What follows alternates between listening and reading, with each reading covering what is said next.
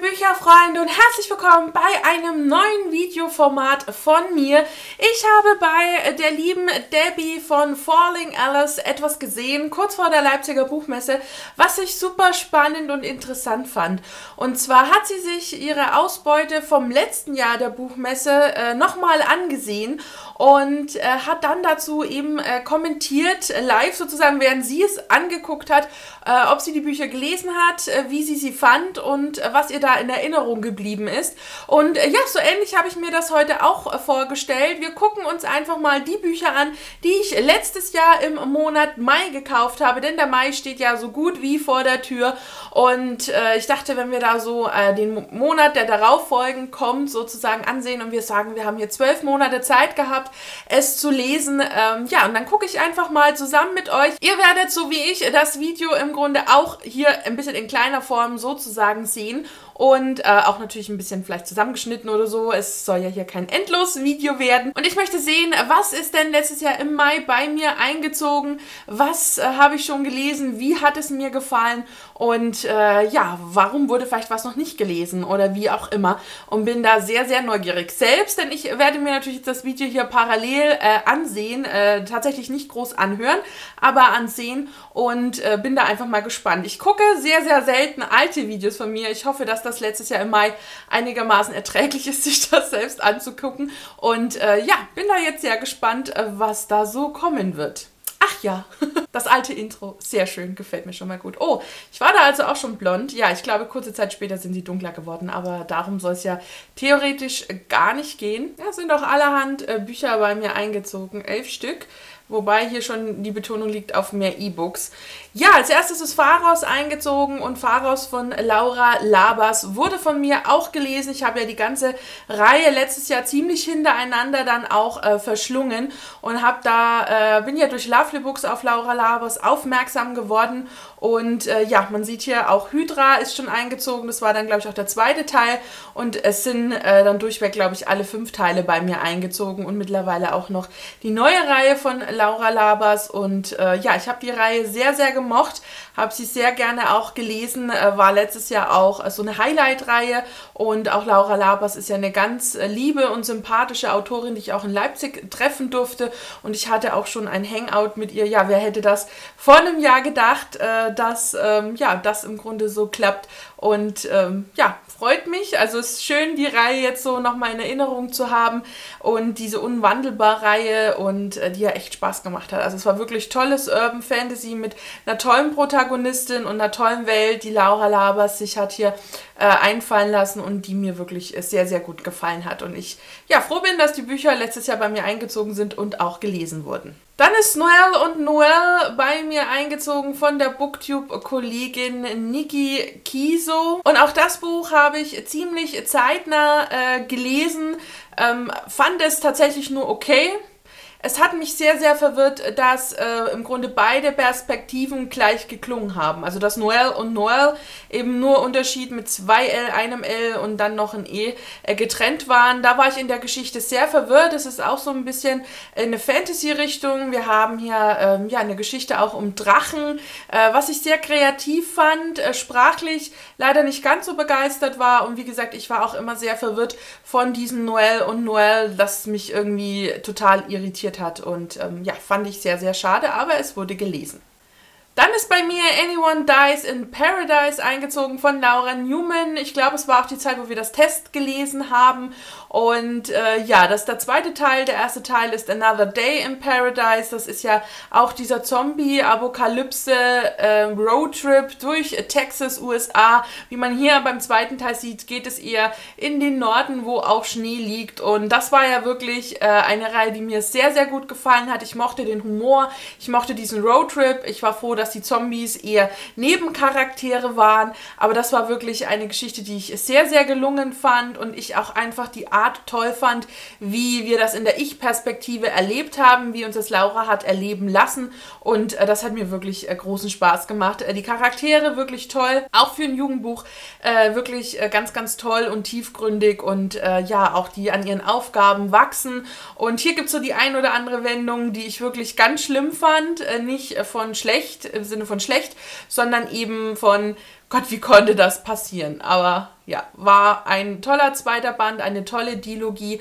und äh, absolut beide Teile empfehlenswert. Ja, eine Kurzgeschichte von Stephen King ist eingezogen. Omi, es war ja letzte Woche, letztes Jahr so, dass äh, jede Woche ein Stephen King eine Kurzgeschichte herausgebracht wurde vom Heine Verlag und Omi ist bei mir eingezogen und es war eine ganz gruselige Kurzgeschichte, ähm, ja, die mit einer Omi zu tun hat, die stirbt, während der junge Enkel da ist und äh, ja, mit dem im Grunde dann die Fantasie durchgeht und es war grauenhaft. es war ganz schlimm, es war ganz viel Gänsehaut, es war ganz viel, oh mein Gott. Und ja, hier hat Stephen King wirklich in der Kurzgeschichte gezeigt, was er kann. Es sind ja nicht alle seine Kurzgeschichten gut, aber Omi hat mir tatsächlich sehr, sehr gut gefallen und ist äh, in sehr guter Erinnerung. Dann habe ich gehört, äh, Colleen Hoovers Hope Forever. Ich bin ja äh, ein Hoover-Fan, zumindest alle Bücher, die ich gelesen habe. Insbesondere die ersten Teile von Reihen fand ich immer großartig. Und ich glaube, ich hatte mir das Hörbuch gehört, weil ich glaube, ich war im Mai mal irgendwie krank, letztes Jahr, wenn ich mich nicht täusche, und ähm, konnte daher irgendwie nicht lesen. Ich weiß auch nicht mehr, was ich hatte und habe mir dann das Hörbuch geholt. Und äh, bei Hope Forever äh, war halt auch wieder so die, der Plot-Twist, der dann auftaucht, der einen emotional wirklich wie einen Rack zurücklässt. Es ist toll geschrieben. Ich finde, Colleen Hoover kann schreiben. Sie reißt einen mit. Sie hat tolle Protagonisten, tolle Charaktere. Auch die Stimme äh, habe ich in sehr positiver Erinnerung. Es war, glaube ich, mein zweites Hörbuch, was ich von Colleen Hoover äh, gehört habe habe. Und man kann sich da halt auch wunderbar fallen lassen und hat die Charaktere vor Augen. Und äh, mir hat die Geschichte gut gefallen. Ähm, hat wirklich Spaß gemacht und dank des Audible-Abos ist man da ja auch immer für, so, für ein Guthaben dabei. Ich glaube, das war sogar noch die Zeit, wo, wo ich äh, für 3,95 äh, das, das Guthaben hatte, dementsprechend auch ein Schnäppchen war und äh, fand ich wirklich toll. Habe ich in guter Erinnerung. Ich glaube, es gibt ja noch einen zweiten Teil dazu, wenn ich mich nicht täusche, aber bei zweiten Teilen und Colin Hoover und ich, da sind wir nicht so ganz Freunde. Aber es ist auch lustig, gucke ich gerade, dass ich ja vor dem gleichen Bücherregal sitze wie gerade eben. Und das war ähm, tatsächlich nicht abgesprochen, sondern ich hatte es mir vorher gar nicht groß angeguckt und denke gerade so, okay, zum Glück hast du nicht den gleichen Pulli an. Das war jetzt gerade noch so mein Gedankengang, aber ja, ein lustiger Random Fact äh, nebenbei. Dann ist eingezogen von Andy Bielfeld Forgive Sommerzauber. Hier gibt es ja, glaube ich, mittlerweile auch schon Winterzauber. Ich weiß noch gar nicht, ob es den Frühling, Herbst schon gibt. Ich glaube, der sollte dieses Jahr erscheinen. Das war eine sehr gefühlvolle Liebesgeschichte. So richtig an viel erinnern tue ich mich gerade nicht mehr. Ich weiß nur, dass sie mir sehr, sehr gut gefallen hat und äh, ich mir dann auch noch die Wintergeschichte zugelegt hatte, aber noch nicht gelesen habe und jetzt eben noch so dem Frühling und dem Herbst entgegen äh, fiebere. Also es wird diese vierteilige Reihe, je nach Jahr Jahreszeit. Kann man aber, glaube ich, soweit ich mich erinnere, auch unabhängig voneinander lesen. Ähm, spielen, glaube ich, immer nur so die Charaktere immer mal so eine Nebenrolle. Ähm, Habe ich in guter Erinnerung, wurde also auch gelesen und äh, Andy Biefeld, finde ich, hat sowieso einen ganz tollen Schreibstil, egal ob sie Romane schreibt oder sie hat ja auch diese Urban Fantasy Reihe Nilamrut, die mir auch sehr, sehr gut gefallen hat und ähm, ja, auch eine ganz sympathische Autorin, äh, ja, die ich auch schon kennenlernen durfte und äh, ja, auch vor GIF wurde dementsprechend schon gelesen. Ja, dann kam der zweite Band von Die Königin der Schatten verflucht von Erika Johansen einen zweiten Band, auf den ich sehnsüchtig gewartet habe, da mir der erste Band unglaublich gut gefallen hat. Wir hier ja auch in so einer dystopischen Welt sind, äh, wo wir die Protagonistin im Grunde im ersten Teil kennenlernen, die eben versteckt lebt, da sie eben nicht als Erbin des Königreiches hervortreten darf, sondern eben erst, wenn sie tatsächlich an der Reihe ist, ja, als Königin aufzutreten. Und der erste Teil packend war, spannend war und mir unglaublich gut gefallen hat. Der zweite Teil mich dann, äh, soweit ich mich erinnere, ganz schön enttäuscht auch zurückgelassen hat, ich es ganz okay fand, aber ich glaube jetzt auch gar nicht den Drang irgendwie verspürt hatte, den dritten Teil zu lesen. Ich weiß auch gar nicht, ob der, der mittlerweile erschienen ist. Und äh, ich mochte auch den Stil von Erika Johansen ganz gerne. Es war so ein bisschen ausschweifender und äh, wirklich sehr bildhaft erzählen, was mir wirklich gut gefallen hat. Aber es war irgendwie nicht die Richtung, die ich wollte. Ich glaube, es war wieder ein bisschen zu pubertär, ein bisschen zu viele Probleme, die man eben in der Dystopie gefälligst nicht zu haben hat. Aber ich finde, da ist einfach anderes wichtig und nicht irgendeine Liebesgeschichte. Dementsprechend äh, war der zweite Band nicht ganz so gut, aber ja, er war okay. Ah, und dann kam unser erstes Leseclub-Buch, Eleanor und Park.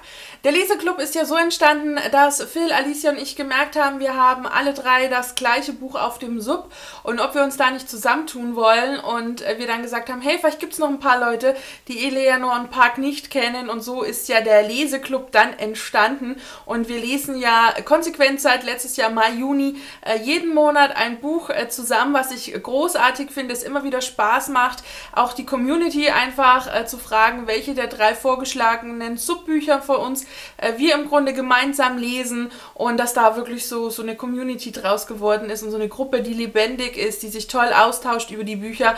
Und dementsprechend ist auch Eleanor und Park schon gelesen worden.